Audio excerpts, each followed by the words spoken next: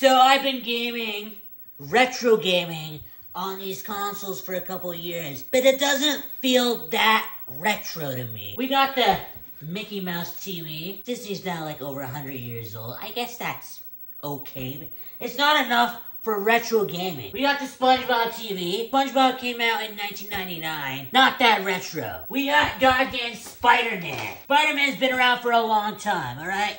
But not the TV. TV's been out for like since 2000 and goddamn five. So not that old. Not that old. Oh my god, get over here. Get over here. Get over here. The Shrek TV now. My babe. My my god. Shrek is love. Shrek is life. But it's still not old enough for my retro gaming needs. So that's why today I got this beautiful goddamn grandfather 1970s CRT TV. Check it out. Check it out.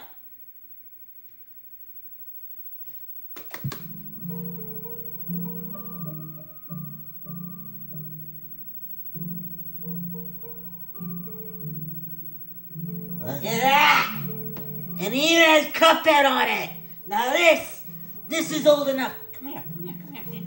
Check it out. You don't see TVs like this nowadays, alright? It's just so clear, so retro, plus a high fucking refresh rate. Like over 240 hertz. If you're a nerd like me and you care about that. Oh god. Alright, this is dangerous.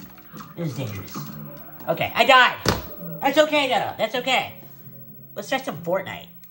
Fortnite on a 1970s TV. Look at this. I'm always gonna play on this. Gonna get those victory royales. Oh, you son of a bitch! Fuck!